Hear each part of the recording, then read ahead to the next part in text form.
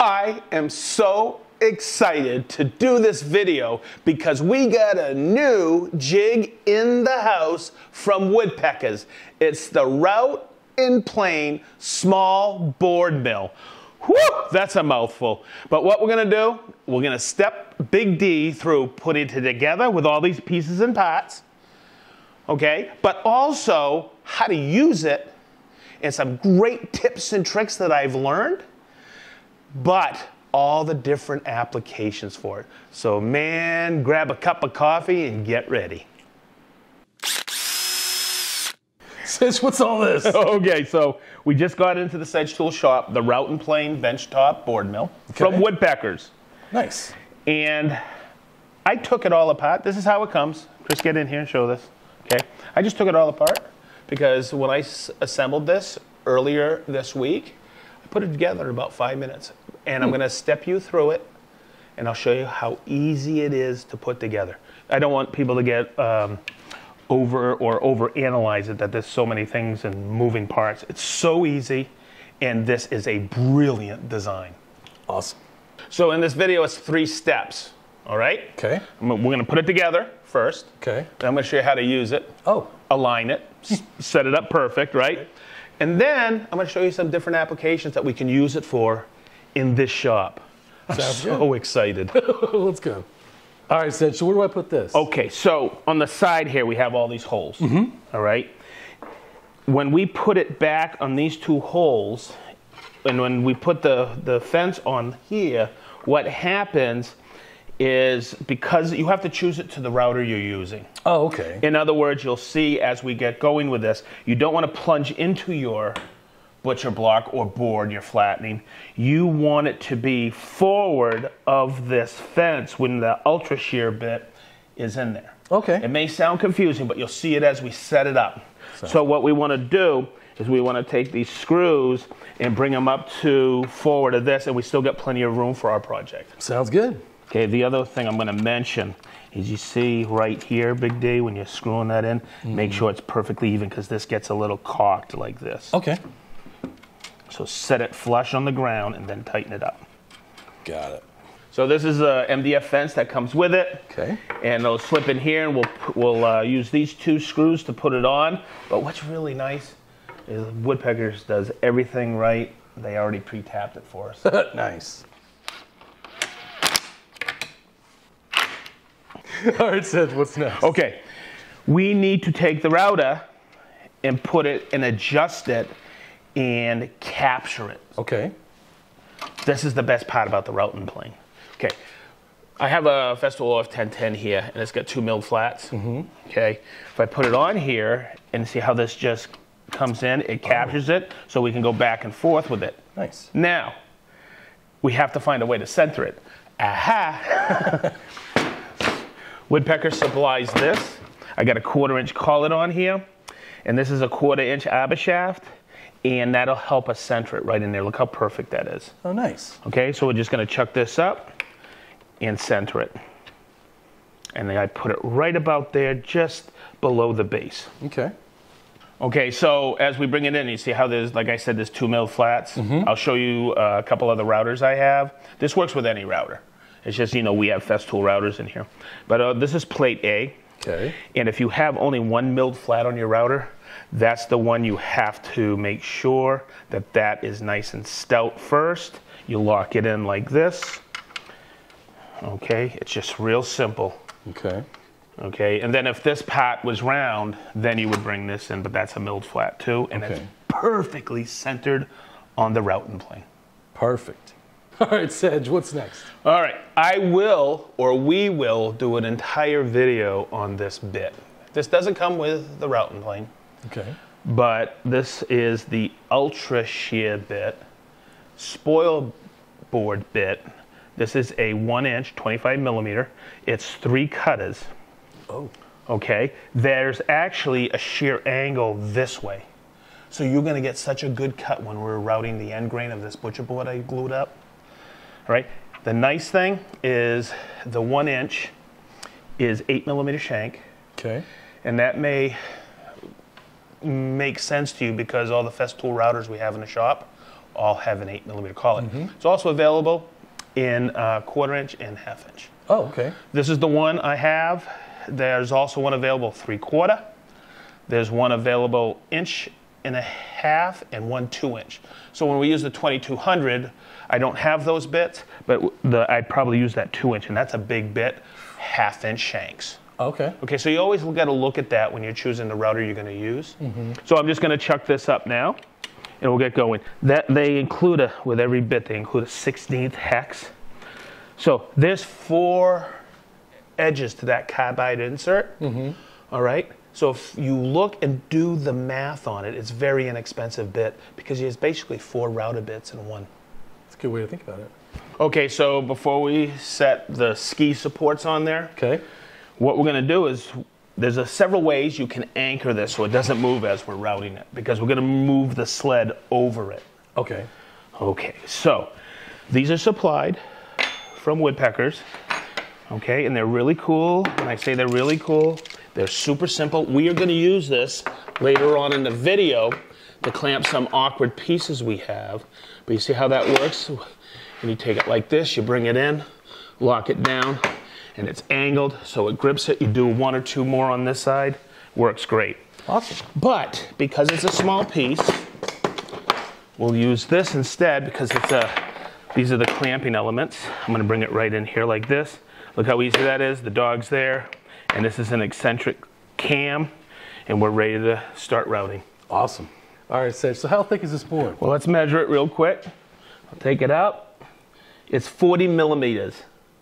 So that's basically an inch and a half. Okay. What will the spe- um, the minimum you could go is about 20 millimeters, three quarters, a little over three quarters, and the maximum thickness is three inches.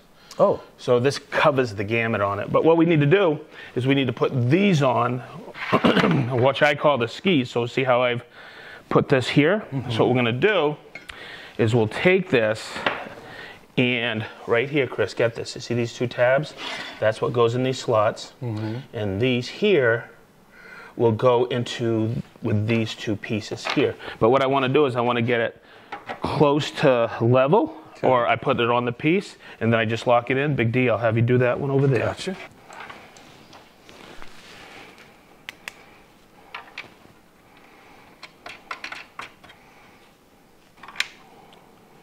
Wicked easy. Okay, Big D. Really quick on this one. I always do a final check to see how our skis look here. We're looking good. Look how big a butcher block we could have done here, oh, cutting board. All right, now I am going to go back and forth to see if there's any hiccups. None. Now this is our initial route with it, so you're gonna, and this is why we did the brackets forward. Anybody's router is gonna be different, but Chris, I wanna make sure you can come in here, right on this side. See this? You wanna start forward of that MDF fence. Oh. Okay, you don't wanna start here and plunge in. Gotcha. You wanna start here and go forward. That's why we moved it up like that. Makes sense. We have one more measurement, and that is depth. Okay. Okay, we're gonna keep it wicked easy. Uh, the instructions on the routing plane says to take very light cuts between a 16th and an eighth.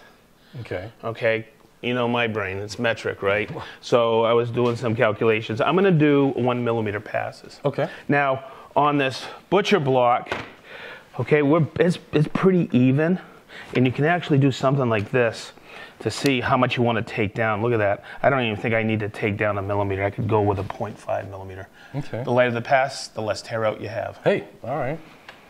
So let's not use the scale. Let's zero out the router for our depth. I'm going to take it, take that ultra shear bit, and put it right down and lock it in. Okay. Okay. I'm going to take my turret, make sure it's at the last stop. I'm going to make sure that this is loose.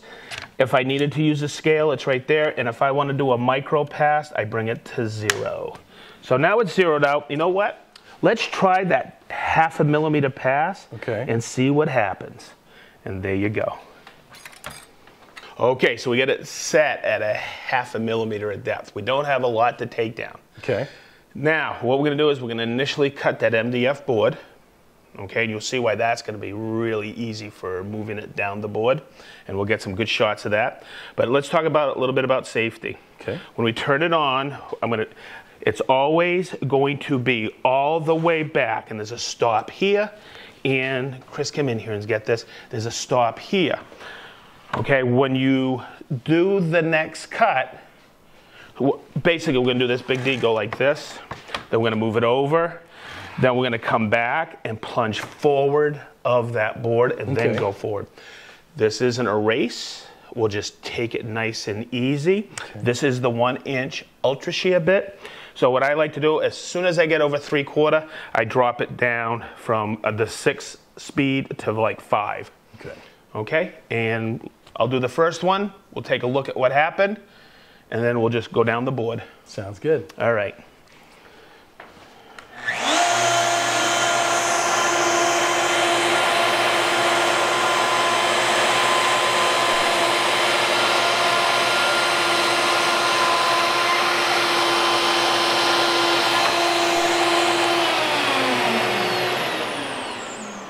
Okay, let's look at the cut. Okay. I'm going to take it out to look. Oh my God, is that nice? Look at that. Boy, is that smooth. Of course, you're going to get a little tear out there. Sure. But you see how we've created this? Mm-hmm. Okay. This is what I'm going to do and take it like this for my next pass and make my route. So this will go very quick. Okay. Okay. So I'll just take it like this and you'll see, and hopefully we can get the action on here where I can do two passes.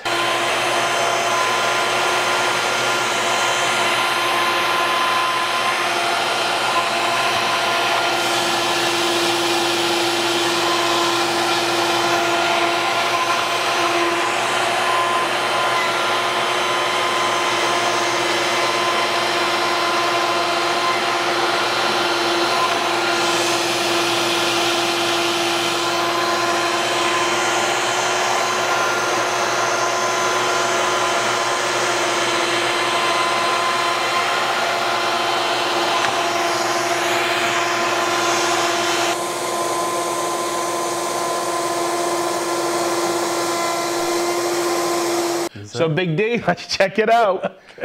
That wasn't too bad. Nah, All too Not too long. So if we pull it back and we look, feel how even that is. Oh wow. And now just we'll hit it with a Rotex and do final sanding, and that just eliminated a ton of time. Hey, let's explore some more applications with it. So this is a fantastic application for the routing plane. We're under the 15 inches, but this was an offcut of a slab I had. Mm-hmm. Okay, and you can't feed this through a planer like this because it would just tear it up. But look at the spalting in here. Look at all this wacky grain. So we're going to be going this way with it. Okay, what I'm going to do is I'm going to stop it here. I want to put my routing plane up against here. Okay, but it's going to move and the clamps or the hold down supplied i have all this wacky uh, live edge here. The best application here is to use some double-sided tape to stick it to the surface. Okay.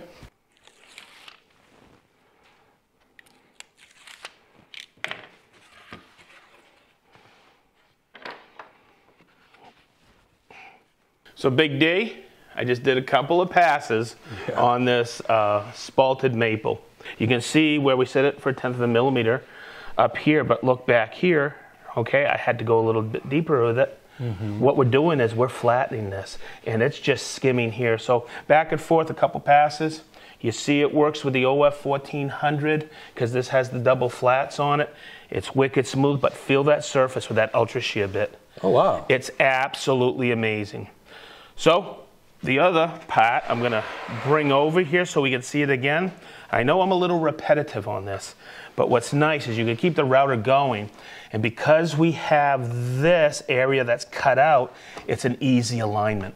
Yep. So it's it, it- you can keep the router going back and forth. This is the one inch ultra shear. With the 1400, I probably go up to the inch and a half if I Oh, had okay. it. Okay. And when we use the 2200 in the next application, you'll see that that'll take a two-inch ultra shear. Oh. But we're still going to use the one we have okay. because that's an eight millimeter shank, which fits all the Festool routers. Good call.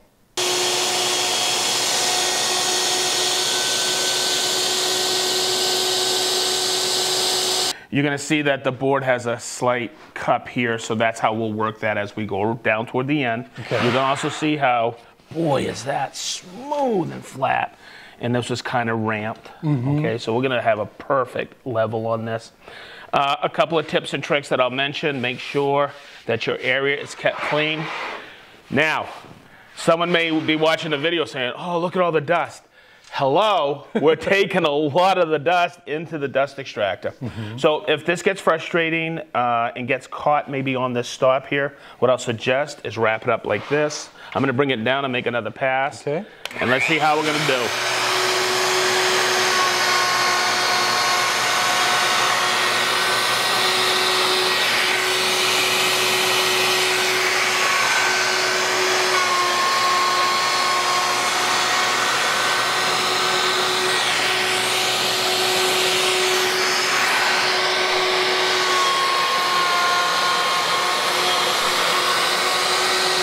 Okay, Big D, another great application for what?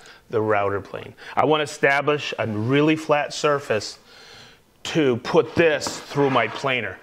But I got two highs here, right? There's a little bit of what? Twist. Mm-hmm. So if I feed that through the planer, the roller is going to grab that. It'll be a beautiful surface, but it'll still have the twist. So let's get the twist out. Okay. So what we want to do, we have it locked down to the MFT, and if I start with a routing plane, I- I still have that wobble. So what I'd like to do, this won't be in the way because my outer ski will be here. I'm going to tuck that in here, and I'm going to come off to the side here and tuck another shim in, and we'll be good to go. Hey, Sedge, I don't think this works with the 22. What do you mean? Um, Okay, wait a minute. There's the flat. Like I said, it goes against plate A. put the flat there. Yep. Okay, you got the centering mandrel in there. I sure do. Uh oh, here we go. That's why there's an extra set of screws here, Oh. and that allow the larger routers out there to work, and this will self-center in there with the centering mandrel. Let's get her done. Yes, sir.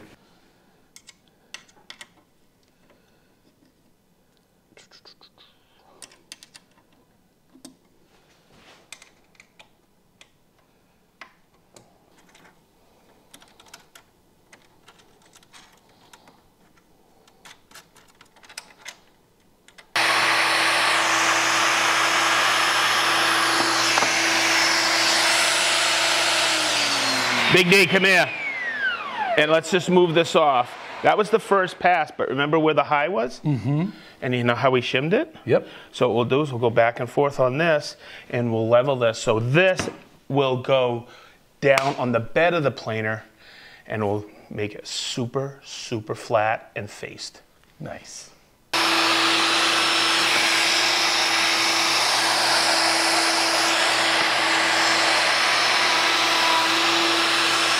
Hey, go ahead and grab that and take it off. Okay. Okay, let's see how we're progressing on this.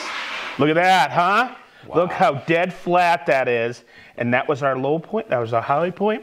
So when we get to the end, it'll basically be a little reversed here. Mm -hmm. And then we'll test it and send it through the, put this downside to the planer and be ready. I'll tell you what, this is gonna be a great addition to the Sedge Tool Shop. All right, Sedge, what do you think? I think we have a new permanent fixture in the Sedge Tool Shop. Um, I was really impressed on how it went together wicked quick, right? Um, I think we covered a few good applications. Review this video uh, when you're setting up your routing plane. I just want to point out one more feature that people don't know. If you couple it with uh, one of the Festool routers, and this may uh, have another application for you. You know how we use the centering mandrel here to center it? That is the center line that's right on for the router bit, any router bit you put in there. So this may become a small joinery machine, and it eliminates a lot of jigs that I have made in my shop over the years. Okay. So as we always say, Be positive. stay sharp, wicked, Wicked sharp.